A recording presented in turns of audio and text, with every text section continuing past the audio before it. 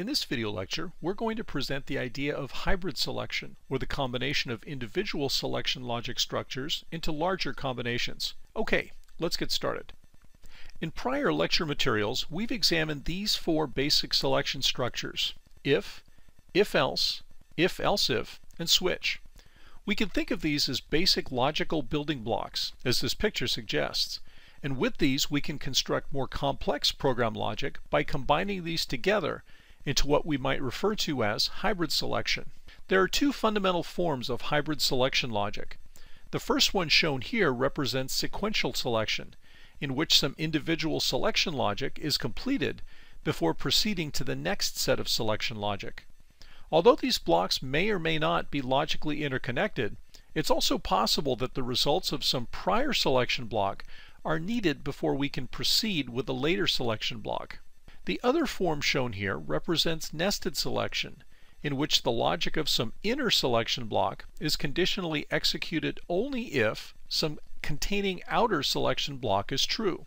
So for example, these inner switch and if blocks might represent individual cases of the outer switch block. As both of these diagrams might suggest, we can mix and match the various types of selection sequentially or nested or both, however we wish. The only restriction, shown here on the bottom, is that there can be no overlap between the selection blocks. In other words, one block must fully terminate before another one can begin, or else one block must fully contain another block with no overlap. Let's take a look at examples of both these forms.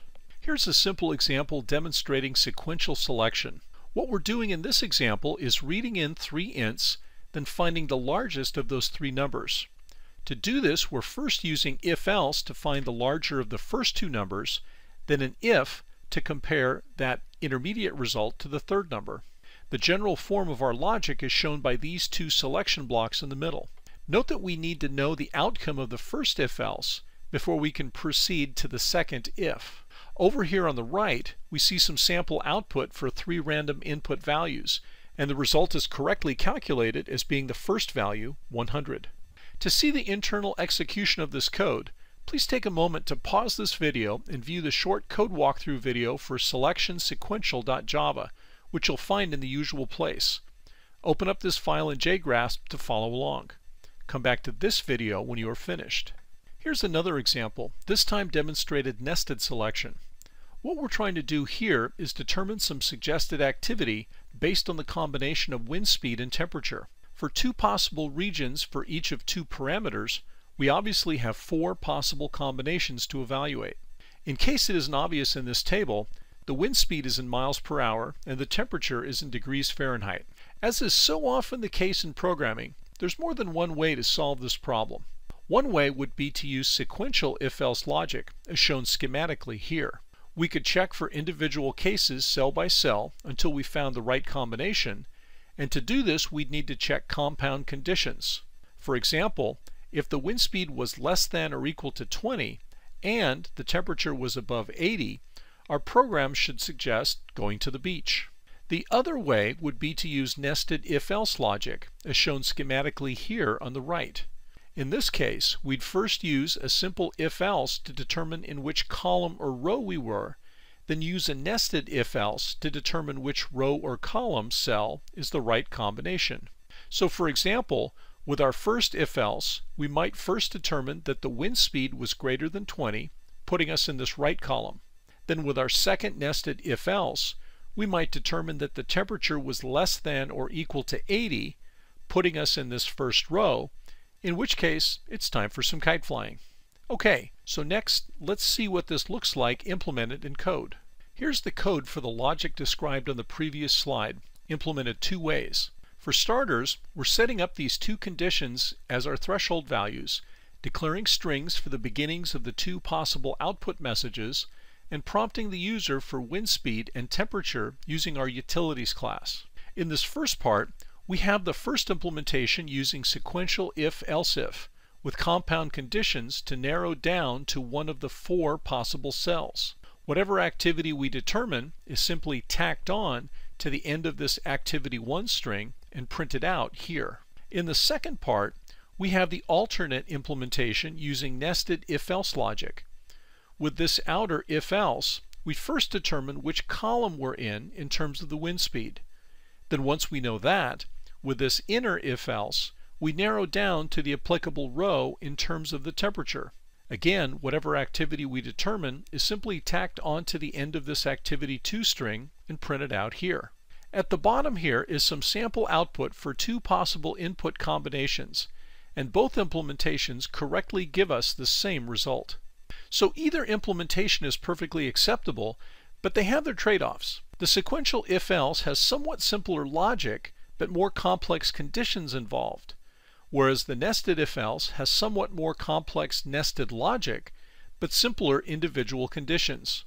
Whichever way we choose to do it, we still have to work through four logic conditions. Either implementation is perfectly valid, it really just gets down to your own personal preference and what you think is easier or clearer to implement.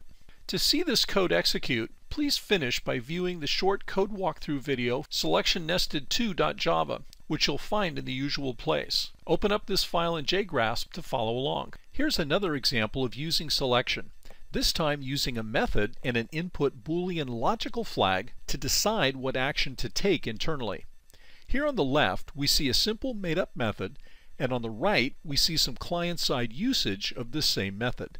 The method on the left is called DoSomeMath, and it accepts three inputs, two int values, and then a boolean value, which will decide how to process these first two inputs. In programming, we often refer to such a boolean input as a logical flag or a switch. Its purpose is to help decide what to do with these first two inputs. If the value of this flag variable is false, we've arbitrarily said we're going to add these other two inputs together. Otherwise, if the value of this flag variable is true, we'll then multiply those two inputs together instead. The way this works is very simple. This last Boolean input is itself the condition which determines whether we execute the if branch or the else branch of this if-else construct. Remember, an if-else needs some condition to decide what to do next. A condition is simply some logical expression that evaluates to either a true or false value.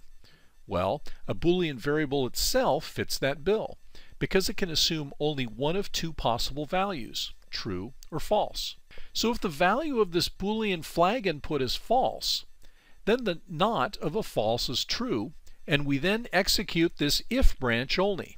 Then we simply add these two input values up and assign that to this result variable. But if the value of this Boolean flag input is true, then the not of that is false, and we execute this else branch instead. Now we multiply the two input values instead and assign that value to the result. Either way, the result variable is going to receive either the sum or the product of these first two input values up here depending how this Boolean flag is set. And the value gets returned to the caller in this last return statement. This may be a simple example, but it shows how we might use a Boolean value to control a logical flow elsewhere. Okay, so then how would we put this method code to use in some external client code? Here on the right now, we see a couple of example usages of this method on the left. We've declared and set up two int values here, though we can imagine these might be calculated or read in somehow instead. Then to call the method in some client, we simply give it what it's expecting, two int values and then one boolean value.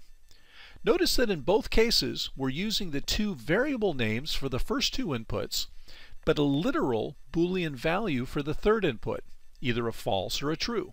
In other words, we're not declaring an extra variable for this last input because we don't really need to. So in this first call, this false input tells us we're going to use the if branch of the method and add the first two inputs, giving us 13. But in the second call, this true input tells us we're going to use the else branch of the method and multiply the first two inputs, giving us 42 instead. In either case, this third Boolean logic flag is controlling the path of execution that gets taken here inside the methods if else. Make sure to study this example carefully. Make sure you're clear on how the Boolean literal value on the right side client code maps to the left side method input usage of it to determine the logical path taken. You may be doing something very similar on a current program assignment. Okay, and with that we are now done with this discussion of sequential versus nested selection logic or hybrid logic.